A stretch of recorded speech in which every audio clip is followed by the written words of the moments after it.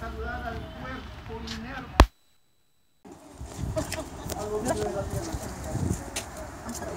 Yo no sé, tía. Lo único que sé es que siento lo mismo que le dije a mi hermana hace dos noches cuando tú entregabas tu cuerpo a la eternidad. Recién entiendo cuánto te he querido, tía.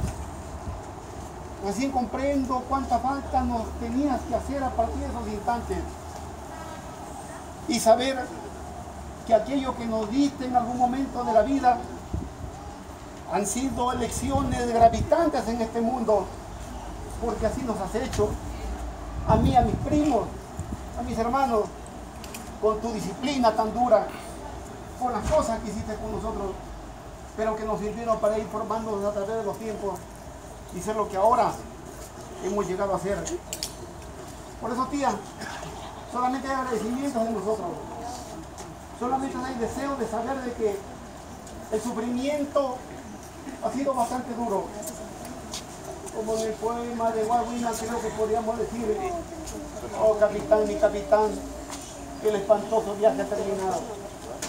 Ha terminado el espantoso viaje, tía, porque ya no sufrirás más porque ya no sabrás de verano ni de frío.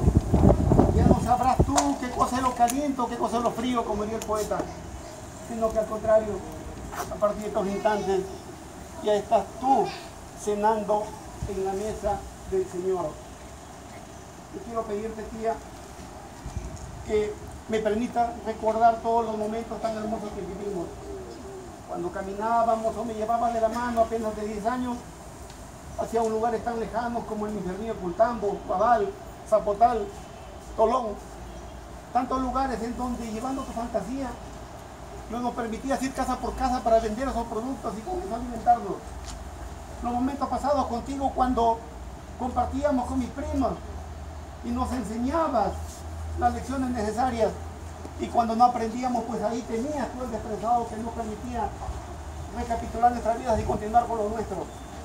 Todos son historias, todas son vivencias nuestras, entre tú y nosotros, que es una vida bastante íntima y lo más hermoso que hemos tenido que pasar. Pero lo más hermoso que he vivido contigo, tía, ni siquiera han sido esos momentos vividos, sino los últimos minutos de tu vida. Cuando veía que mi hermana se acercaba a ti acariciándote constantemente, te decía, mamita linda, cuánto te quiero, madrecita, cómo te adoro, nosotros te queremos tanto porque tú nos has enseñado tantas cosas. Mamita linda, y tú estabas en tu agonía constante. Y tu dolor era a través de un rocío pequeño que apenas era perceptible. Y te quejabas constantemente y tu dolor era continuo y nos sentíamos constantemente nosotros en la profundidad de nuestro ser. Roberto, y yo, juntos ahí en ese instante para hablar nuestra suerte. Mi hermana comenzó a acariciarte la cara y comenzó acariciarte tu boquita y te echaba agüita y constantemente te decía algo muy bonito.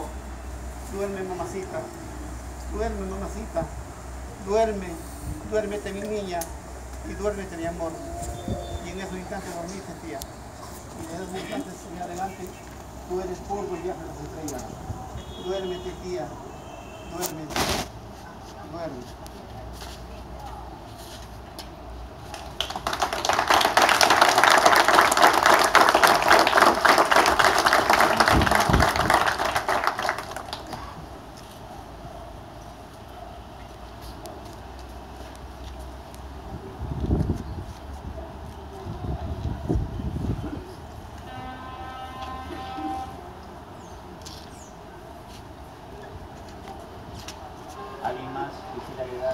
Lo puede hacer en estos momentos.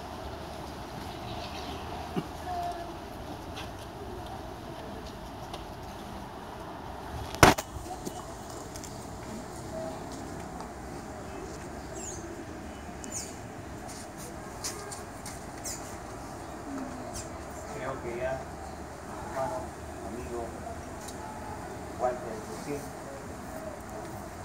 ha hecho mucho.